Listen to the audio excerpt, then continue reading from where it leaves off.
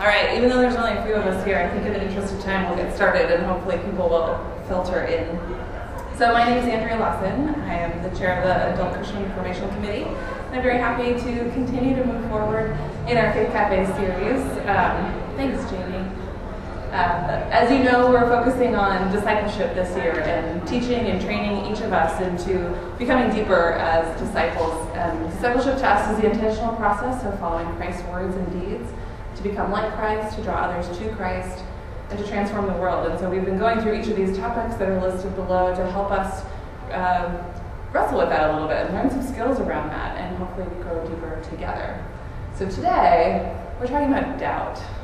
How many of you have ever doubted? How many of you ever had a question? Um, I think most of us, if we're honest, might answer that in the affirmative. And so I'd like you to kind of ground yourself now as we move into this time together in some of these questions that are on the, the board. So take a minute to reflect on um, a time of doubt or a time of questioning, or maybe even a moment or a very long period of time.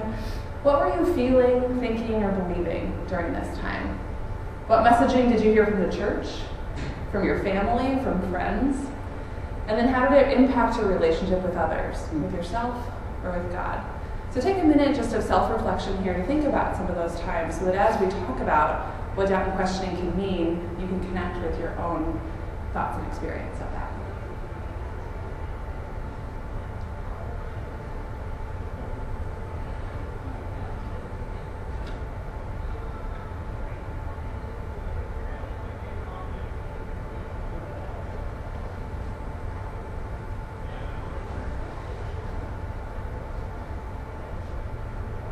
things they want to share from their reflection?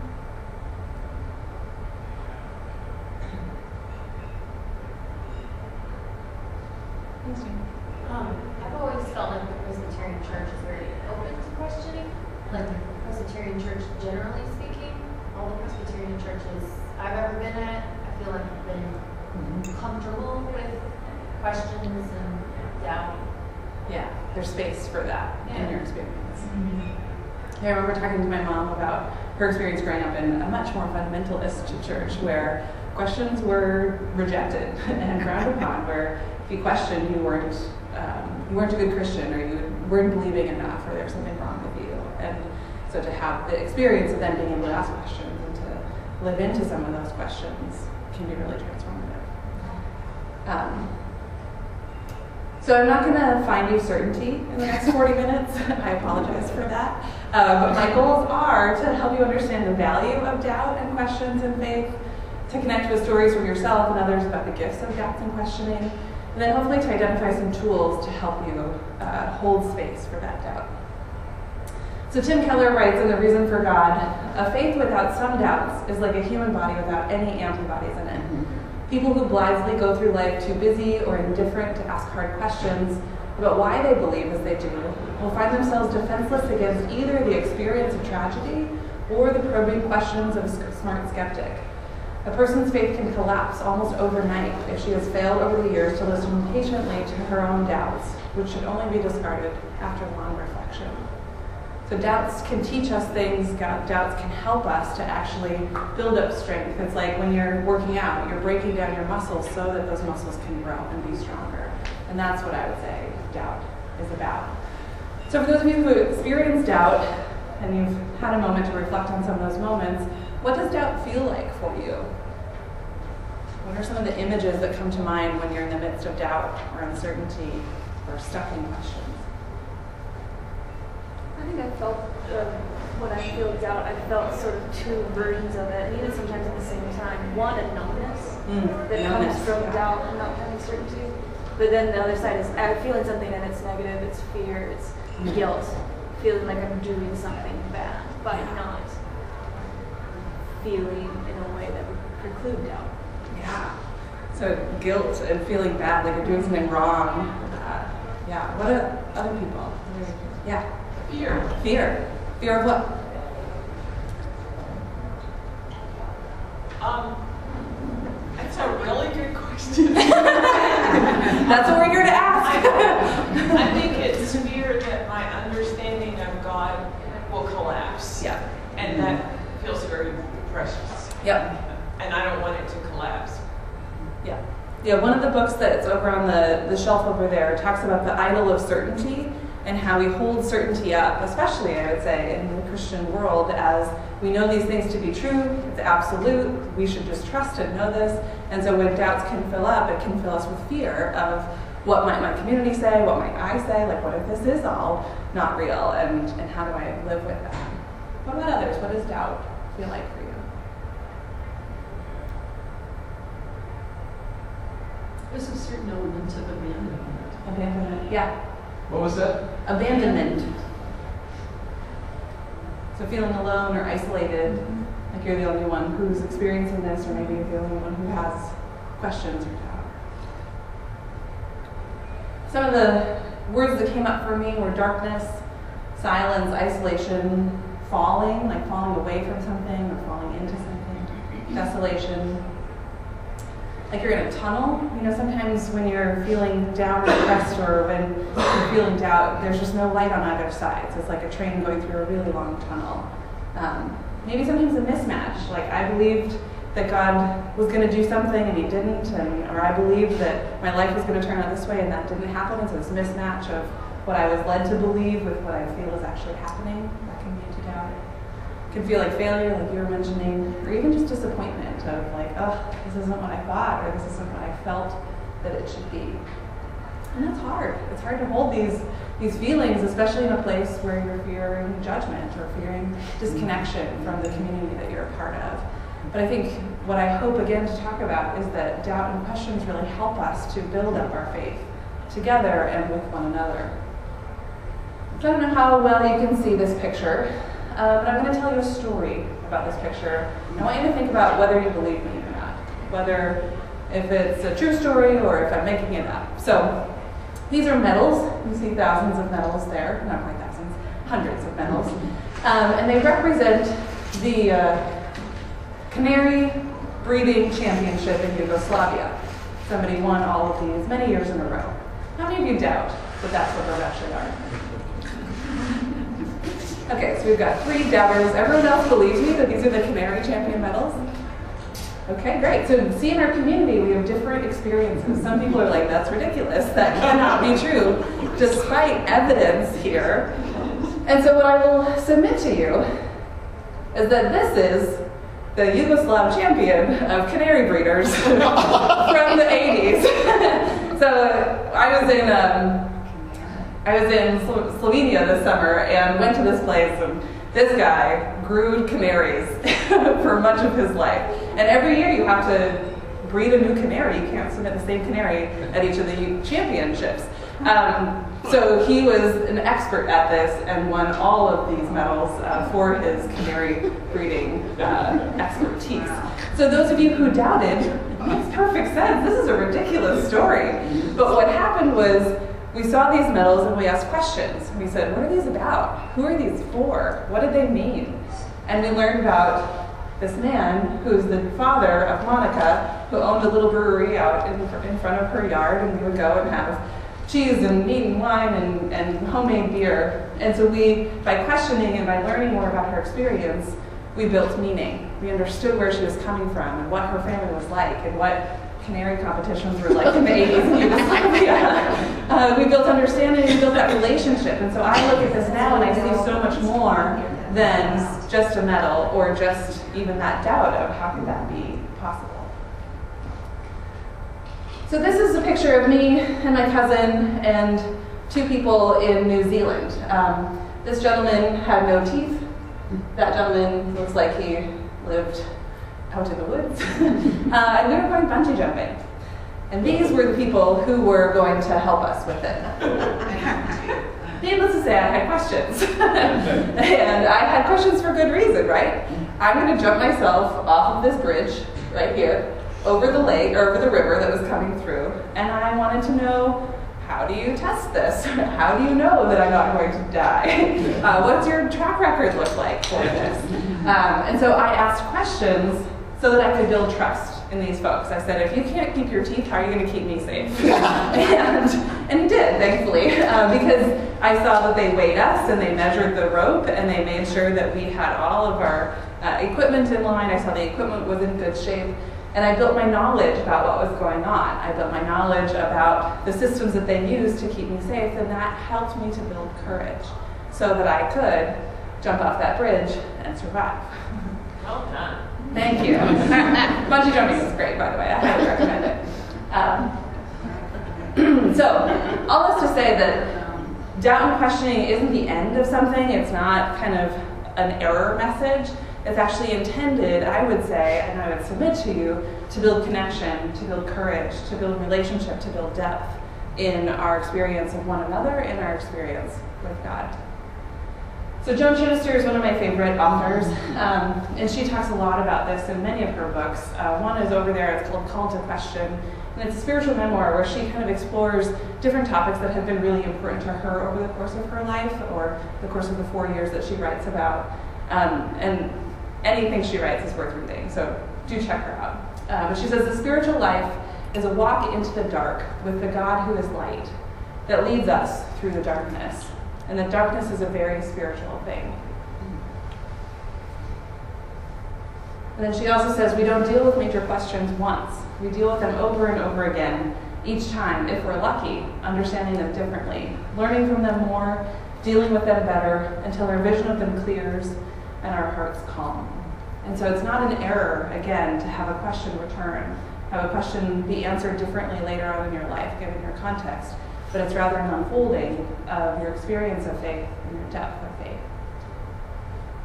Does this fit for you all? Does this resonate?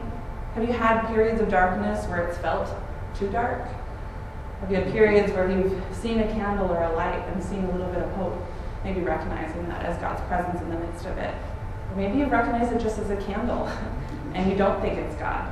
Maybe it's somebody else bringing that to you. I think this really helps, again, helps us to make space for some of these questions, knowing that they bring depth, they bring connection, they bring life. So God invites challenges, questions, and doubt. I think most of the people in this room would be able to do a better uh, scripture expository lesson uh, about the people in the scriptures who have doubted. Uh, but I've listed a few here Abraham, Moses, Habakkuk, Mary, Thomas, Jesus. Uh, the Psalms are rife with doubt. Um, and then also in history, so St. John of the Cross went through his dark night of the soul. Uh, Mother Teresa even had many doubts, wondering if what she had done for her whole life was was worth it.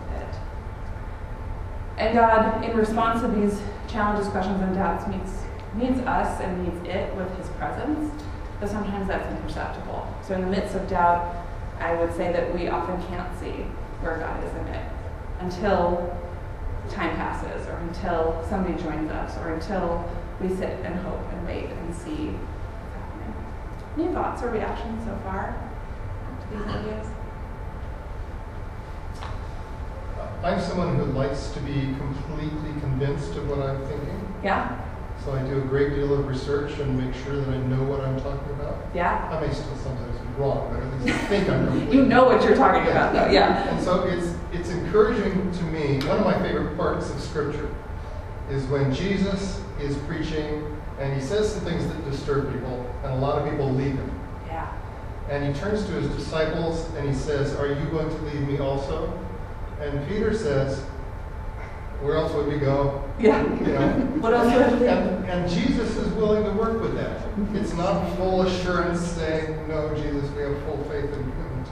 Yeah. But he's saying, You're the best we've got, so. Let's do it. and Jesus is okay with that. Yeah. With that. And I would say that's kind of an artifact of maybe the modern American church that that need for certainty and absolutism has, has come about. And I think that's a really nice example of knowing enough or having faith enough to take that next step, do the next right thing, or connect in the next way. What about others?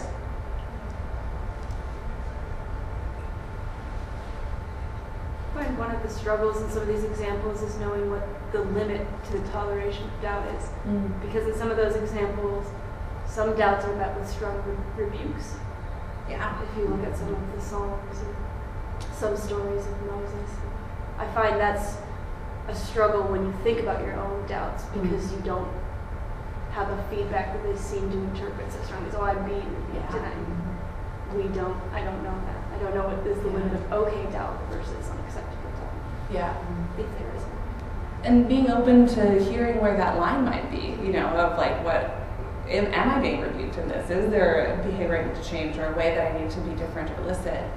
While also kind of recognizing that God still loves us and God is there. And the story of these is not um, God cuts us off and that's it. It's invitation into that trust, into that next step, into challenging yourself to continue to believe in the midst of it. Yeah. Um, there's a book by Os Guinness called Of Two Minds, Uh huh. and uh, can you remember the Greek word that, that we use in the Bible all the time? I can't get it down, but it's it means in Greek of two minds, Mm. like doubt and faith. Oh, nice. That was really interesting book. Remember which word it I told you the black and white And so, kind of holding that faith and doubt are Yeah. held together. Is that the idea of That, it? that's Yeah. normal. That's the concept. Yeah. Used in the Bible. The Greek, true Greek meaning. Yeah. That's great. So I want you to find a partner around you or somebody, a few people who you can talk about some of these questions together for a few minutes. So the questions, there's a lot of them, you're not going to get to all of them. So maybe pick one or two that you feel like are good ones to go deep on. So one is just when have you had doubts? What's hard about doubting or feeling your way through the darkness? What sustains you in your questions about God or the world? What questions you hold now? What are the gifts darkness has been in your life? And then what would it be like to celebrate the doubts and questions when they arise? So you can choose the level of depth that you share, whether you share what you're actually thinking or feeling or how you think about some of those things. Uh, but find a partner and take about five minutes here to, um, to explore that together. That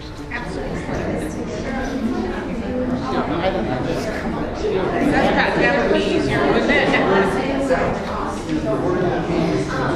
it?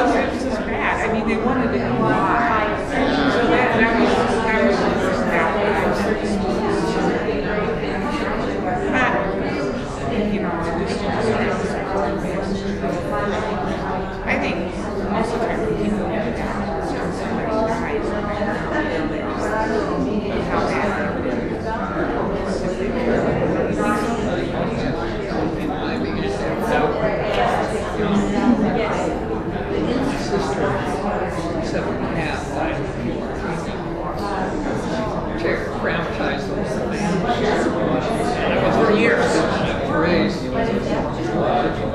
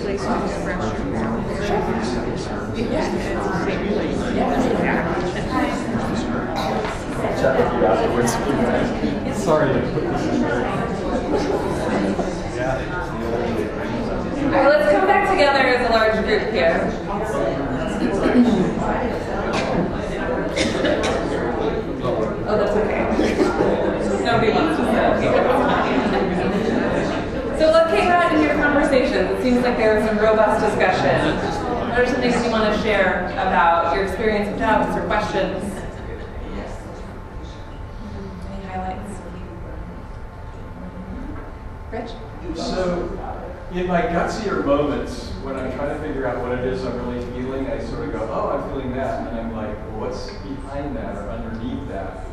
And then I think, well, something else is driving that. And I don't really like going there.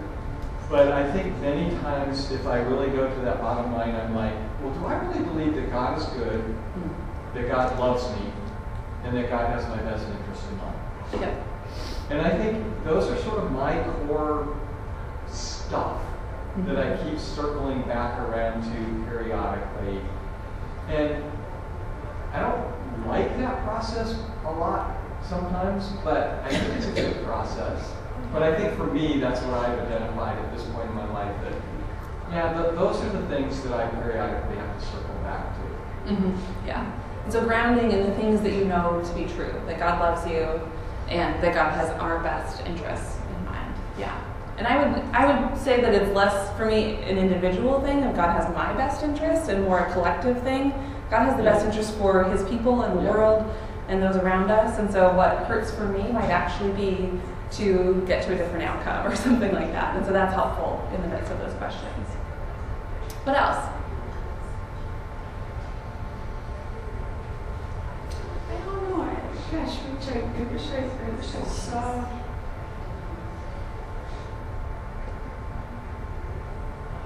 I have a hard time seeing that. I have a hard time seeing that God sometimes has my best interest in mind. You know, we, we were talking about what happened two years ago. Yeah. And I still can't see that God had my best interest in mind. I mean, it, how, how, how could that be? And that, I think, that's one of the things that plagues me. Well, and that's what I was trying to say. Uh, is I, not that I, I mean, my head, I read the Bible, like growing up in faith, and I'm thinking, well, this is how I understand God to be. And I bring that up against whether it's personal or corporate experience and go, I don't get this. yeah, okay, I see. So kind of that holding both, like you were talking about Galen, of I believe that this is how God operates and this is what I believe about him and this is a really difficult experience that I'm having that doesn't align with that and holding those in juxtaposition. Yeah. I struggle with all I think. Uh, but um, I always come back to he, God never promised would all be good. He just said he'd be there with us hmm. through it. And I still struggle.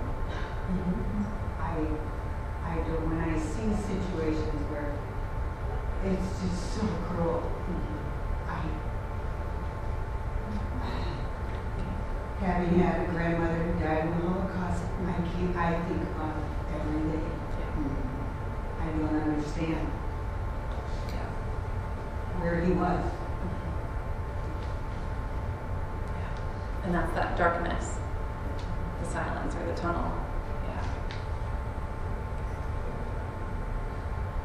I think of it as reality. We live in this world we know can be very bad. There's Mhm. so many bad things that happen when they're around us. And one thing that does is the depth of that badness creates a contrast of the greatness of the goodness. Mm. So the contrast of doubt and questions and tragedy and hardship with the goodness that we also see of God.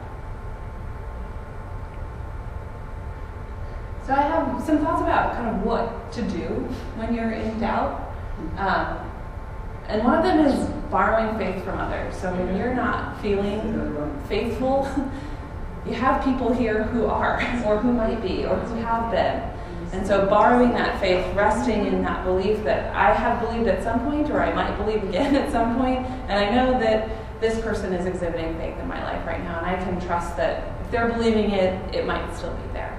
Uh, trusting in your own history of faith, or maybe again the history of somebody else, that you can say, This has been where I've been, and I'm not there right now, and that's okay, or that's a space I can be. Talking again about that either or, allowing questions and belief at the same time. They don't have to be mutually exclusive. You can believe and question, you can have faith, and you can doubt all at the same time. It's not an either or that you have to reject everything if you have one question about it. And recognizing questions and doubt as an opportunity for growth, not a failure of belief. I think that's another kind of pattern that often emerges is that we see ourselves as failures if we don't believe 100% or we always are certain. Um, and then allowing disappointment, uncertainty, fear, tragedy to lead to questions and then therefore connection, hopefully, and that deepening of faith. Remember bungee jumping? That fear and uncertainty can lead to questioning and can lead to understanding and can lead then to trust and to an experience of those things holding you. Read the Psalms. We have examples of orientation, disorientation, and reorientation. So these ideas that you can be connected to God, and the Psalms will talk about that. You can be disconnected from God, and the Psalms will talk about that. And then you can talk about that journey of returning that is also represented in the Psalms. And so if you don't know where to go, start there. Read one a day. See how it goes. See what you're hearing and feeling. You might see your own story in the stories of the Psalms. And then tap into that bigger story of love, connection, social. Get outside yourself. I think a lot of times we get stuck in that idea of needing to have everything all put together, all decided and right and tied up in a nice bow. But sometimes going and serving or going and picketing or going and taking an action in some way can help us realize that it's not just about what's going on in our minds or our hearts, that God's working outside us and around us. That might help us to connect to what God's doing outside of our own individual life. So if you're really in doubt, light a candle, challenge that darkness. So take a physical action. That's why I have the candle lit over there in the corner. Share your questions with somebody else. So challenge that idea of isolation. Connect with somebody else. You know from your conversations you've had today that others question. And so if you can share your questions with someone else, you're going to help them feel less alone in their questions, and you're going to feel less alone in those questions. And then hold your doubt. Challenge the need for certainty. You don't need to resolve it in the moment. You can hold it together. and not fix it. and that's a hard thing to do. So this is a quote from Kierkegaard that I don't really understand, nor do I expect anybody else here to understand, but we're going to start with it, and then I'll give you my translation of it. So Kierkegaard says, without risk, there is no faith. Faith is the contradiction of a person's inward spirit and objective uncertainty. If I were capable of grasping God objectively, I would not believe. But since I cannot grasp Him objectively, I must believe. If I wish to persevere in my faith, I must constantly be intent on holding fast objective uncertainty, so that in the objective uncertainty, I am swimming in deep water and yet believe. So my translation is by knowing that I can't have perfect certainty, I then take a leap of faith and upheld in the depths of doubt, of life, and of questions. So the holding both and letting that hold you up in the midst of it. The leap of faith. And Ben Young, in one of the books that's over there, Room for Doubt, says, Stop thinking about faith and start living it. So, again, getting stuck in our heads makes us question and doubt and kind of go down that spiral and taking action as if it were true. Like, what else am I going to do? Where else am I going to go? Maybe I'll take one more step and see what happens. And then be notable observers of what comes into your life, where you need to go next, what that next right step might be. So, the one caution I would say beware of staying in doubt and rejecting the rest offered by God. Um, in Isaiah, it, this is one of the um, quotes that keeps coming back to me after a sermon I heard probably 15 years ago. Um, says, This is what the sovereign Lord, the Holy One of Israel, says In repentance and rest is your salvation, in quietness and trust is your strength, but you would have none of it.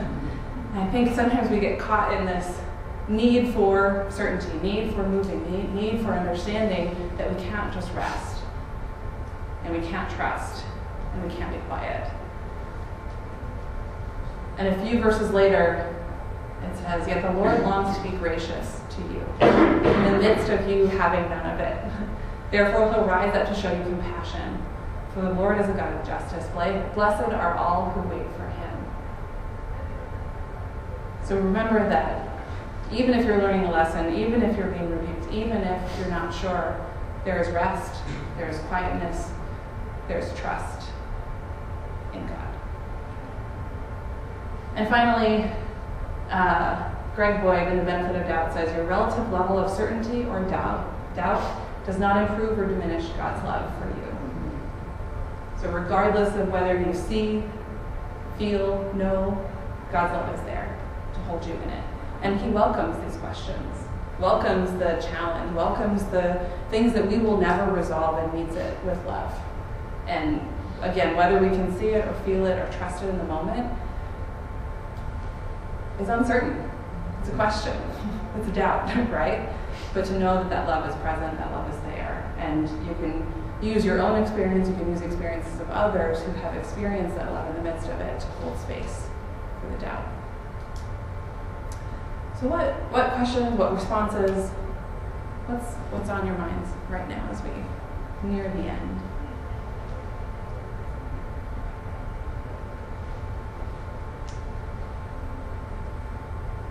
Does this feel new? Does this feel hopeful? Does this feel hard?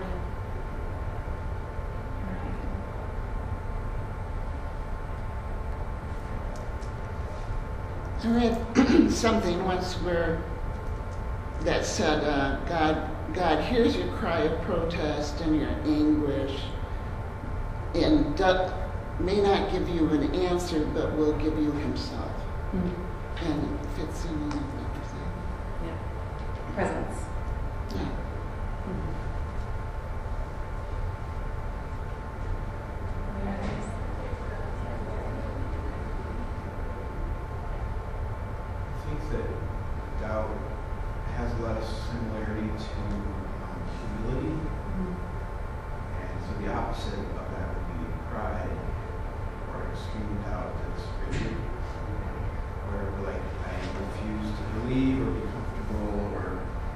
exist with a set of ideas until I resolve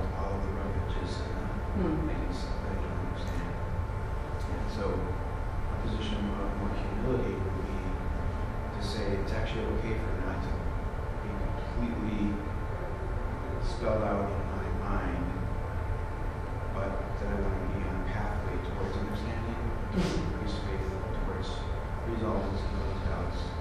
For me, I think the, some of the doubts that I continue to deal with are actually doubts that maybe began when I was in my teens, Mhm. sort of like thinking about self-faith, and I feel okay about that, Mhm. even though I wish that I could just put the bow on it and tidy it up and um, so things aren't resolved. Yeah. So kind of doubts returning, kind of like Joan just mentioned with the questions. They come back and you might have different answers or different ways of understanding those same questions you had when you were 15. Yeah. And I just, experienced the gift of darkness. When I was in the hospital, it was, it was, it was dark. No. And then I recovered, there was light. Mm. But these people that lost their spouse, you know, they have to get rid of that darkness. Yeah. I mean, it's really, really, I mean, there's faith, of course. I just my experience was like, Yeah. Mean, that was like this. Mean, other people that lost. Mhm. How long does that darkness last? Yeah. And sometimes it lasts a long time. And sometimes there are parts of our lives that remain dark, and there are other parts that find light again and again, holding both of those, that it's not an all or nothing, but being able to see and hold that darkness and grieve the loss, grieve the doubt, grieve that difficulty of not knowing. Well, thank you for engaging in this conversation. I hope that it doesn't end here. Um, we will be continuing the Faith Cafe discussion with suffering explored next week. So, uh, continuing this, and Lent starts this week, and so we have a little bit of a, a Lent series with suffering, journaling, listening to the Spirit lament, silence and solitude. So, kind of a more reflective and um, intimate maybe approach to some of these things. So please join us during that series, and you don't have to come to all of them in order to get something from one of them. Um, but if you would please pray with me as well. God, thanks for the space to talk about doubt and to talk about questions today. For your presence here with us in the midst of that, and recognizing that some of us feel that deeply and powerfully, and some of us feel it faintly and some maybe not at all. I pray, God, that you would help us to hold that space for one another and for ourselves. Help us to lean into those questions so that we can develop courage and trust and faith and belief in you. Thanks, God, for all you're doing in and through us. And we pray. Amen. So continue the conversation leaving here. Invite your friends to join you, um, and we'll see you next time.